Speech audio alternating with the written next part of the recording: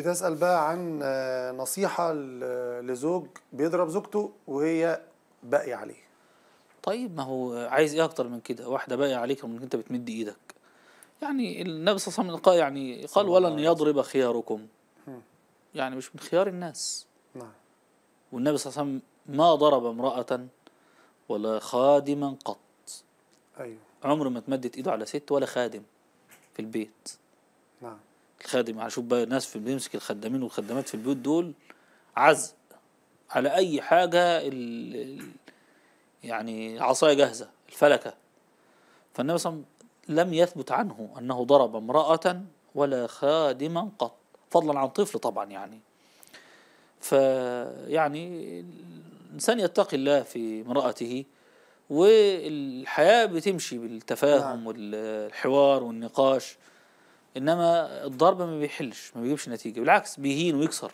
تمام. مش بيكسر البدن يكسر النفس. أيوه صح. يعني هو يتخيل لو لا هو مثلا ضربها أنا راح اترضى وكلاه القلم قباله. هيبقى شكله إيه؟ صح. مثلا تخيل يعني.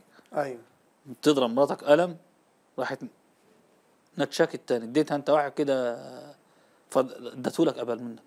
شعورك يبقى إيه وفي أوضة مقفولة عليكم أيوه. يعني هتحس بإهانة.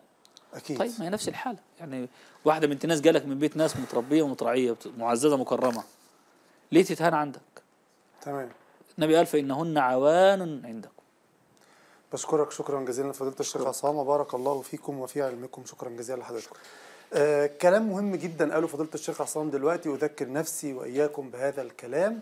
كل رجل كل رجل رفع أو تسول له نفسه أن يرفع يده على امرأة أيا كانت هذه المرأة عليه أن يستمع إلى هذه الكلمات ويرجع ويسمع ويعي أن النبي صلى الله عليه وسلم لم يرفع يده على امرأة قط. وتذكروا أيضا موقف أبو دجانة.